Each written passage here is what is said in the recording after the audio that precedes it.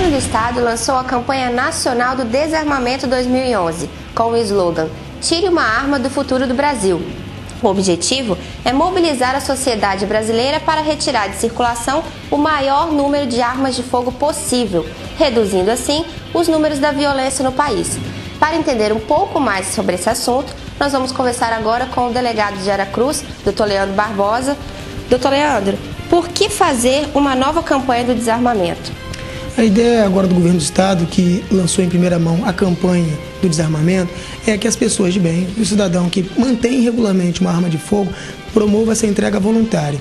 Porque as estatísticas provam que muitas dessas armas são indevidamente usadas é, em discussões urbanas e a pessoa acaba fazendo uso e tornando-se um criminoso, ou mesmo na violência doméstica. O que, era, o que, na verdade, seria uma agressão contra a esposa, ela é capitalizada, ou seja, você tem agora uma arma de fogo e aí acaba tendo uma maior letalidade. Então o governo do estado, a parte desses números que apontam que essas armas elas têm contribuído significativamente, significativamente para a violência urbana, incentiva esse cidadão a entregar, e, é, garantindo o anonimato e fazendo com que a ele seja é, atribuído um valor de 100 a 300 reais, a depender do calibre da arma que for entregue. Então, onde e como o cidadão aracruzense ele pode entregar a sua arma? O Estado credenciou vários postos. A delegacia de Aracruz é um dos postos credenciados no Estado. O cidadão, então, ele é, pode fazer vários, uso de vários instrumentos, entrando no site da Polícia Civil, entrando no site da Secretaria de Segurança Pública, que tem um passo a passo de como proceder a entrega da arma de fogo, inclusive com a retirada de uma guia de trânsito. Ele vai se deslocar até a delegacia de Aracruz, proceder à entrega dessa arma de fogo. É importante destacar que essa arma, quando vier conduzida, tem que estar desmuniciada. Se for entregue munição, tem que estar separado. Ela não pode estar exposta, ou seja, no compartimento em separado. Aqui vai ser feita a consulta da arma, não vai ser interrogado como que ele adquiriu, se aquela arma foi utilizada, ou seja, o anonimato é pleno. É gerada uma senha que no outro dia o cidadão vai até um, uma, um caixa eletrônico e vai retirar o valor, que pode variar de 100 a 300 reais, a depender do calibre da arma de fogo. Então, doutor Leandro, o anonimato ele é realmente garantido. O cidadão ele não corre risco de ser preso ao entregar a arma. Não, o cidadão pode ficar tranquilo, porque ele vai entrar no site, é, vai retirar uma guia de trânsito. Aqui ele vai encontrar um policial habilitado para receber esta arma de fogo. Não, nem vai ser indagado de quem ele adquiriu, quanto ele pagou. Nenhuma pergunta dessa é pertinente. A única coisa que interessa a, ah, nessa campanha é retirar a arma de circulação. Então o anonimato é garantido. Se o cidadão ele nem quiser que seja lançado no registro, o nome dele não será lançado. Ele entregará a arma de fogo, as munições, os acessórios e no outro dia ele vai receber o valor o que é atribuído para aquela arma. Ele pode ficar tranquilo, não será preso, não será indagado, mesmo que essa arma tenha sido usada em algum crime, é, não vai gerar isso uma repercussão em desfavor desse cidadão. A ideia é desarmar a população, evitando que pequenos conflitos urbanos entre eh, vizinhos, entre familiares, possam descambar para homicídios. Essa é a ideia. Nós sabemos que com essa campanha, o criminoso em si ele não vai ser atingido, porque a ele não interessa fazer a entrega da arma de fogo, mas sim o cidadão de bem. Por quê? Porque as estatísticas também provam que quando ocorre furtos ou roubo à residência, essa arma, quando ela não é usada em desfavor desse cidadão, ela é levada pelo criminoso, então, ou seja, torna a criminalidade mais armada ainda. Então, por isso que o governo do Estado lançou de antemão essa campanha. Se nós chegarmos ao. É, a campanha já tem. Foi startada, foi iniciada na Polícia Federal, até semana passada, quase 200 armas já tinham sido entregues espontaneamente. Então, quer dizer, aí vai ter uma indenização também, né, garantida pelo governo. Como o cidadão vai proceder para receber essa indenização? A indenização varia de 100 a 300 reais. Ele vai chegar, vai entregar a arma aqui na delegacia. O quinto batalhão também está habilitado para receber.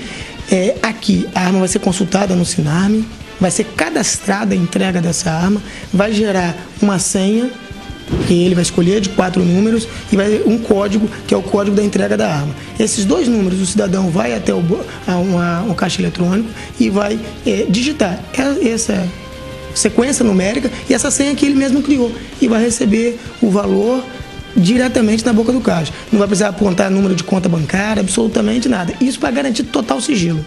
E o que será feito então com essas armas apreendidas?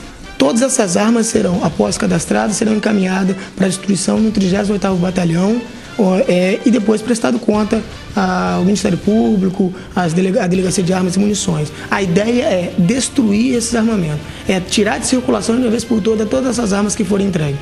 E o que muita gente pensa, delegado, que é, é, até curioso, né? É que desarmar a população vai acabar aumentando a insegurança nas ruas. Isso não é verdade, né?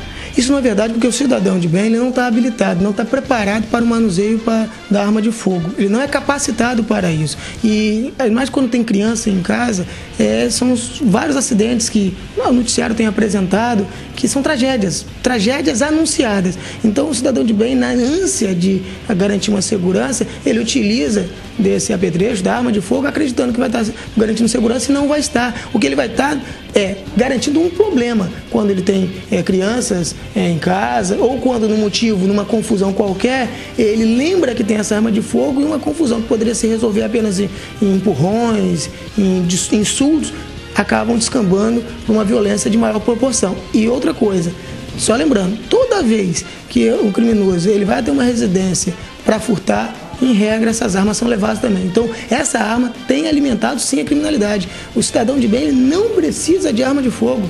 E não precisa de arma de fogo. A arma de fogo do cidadão é o disque denúncia, é o 181. Se perceber que tem algo de errado no seu bairro, na sua localidade, use a arma que o cidadão tem, que é um 181, que também garante o anonimato. A arma de fogo na mão do cidadão é tragédia. E agora uma curiosidade, assim, qual a diferença entre registro e porte de armas? O registro autoriza que a pessoa mantenha em sua residência ou sendo titular de um comércio que mantenha em seu comércio a arma de fogo. O porte é, permite que a pessoa possa transitar, que ele possa se deslocar é, levando esta arma de fogo, sempre de forma velada. Então, é, os requisitos para a concessão do registro e para a concessão do porte são diferentes. Obviamente, para a concessão do registro são muito mais rigoroso, é muito mais rigoroso porque o cidadão no meio urbano poderá se deslocar portando, apresentando é, de forma velada essa arma de fogo. Essa é a diferença. Ter em casa, manter em residência e poder levar consigo. Essa é a diferença da posse para o porte. Mas o ideal mesmo é que seja desarmada toda a população. Arma de fogo para quem não é habilitado para quem não é habilitado, é anúncio de tragédia. E pior, se a polícia fizer uma busca e apreensão, fizer uma abordagem, constatar a manutenção irregular dessa arma de fogo, o cidadão de bem passará a ser autuado e vai ter que ser arbitrado uma fiança, responderá a um processo, ou seja, todo um dissabor que pode ser evitado com essa campanha, com essa entrega voluntária. Que às vezes a pessoa se apega. Tem muitos que, ah, mas é, passou por geração essa arma de fogo. Esse apego à arma de fogo não leva a não ser a tragédia. Então, por isso, nós conclamamos toda a população: qualquer arma, as armas de fabricação caseira ou as armas artesanais, elas não serão é, compensadas, não será pago nenhum valor pela sua entrega. Mas isso não quer dizer que ela não poderá ser entregue na delegacia. Então, se você tiver uma espingarda, revólver, garrucha, qualquer arma que você possua, entre em contato com a delegacia, vai ser tudo explicado. Nós temos aqui que é o telefone 3256-8186. É, você vai ter no site da Polícia Civil, no site da Secretaria de Segurança Pública, um passo a passo, para que não ocorra nenhum problema. Você faz a entrega da arma e se desvincula de um problema. Muito obrigado, doutor Leandro Barbosa.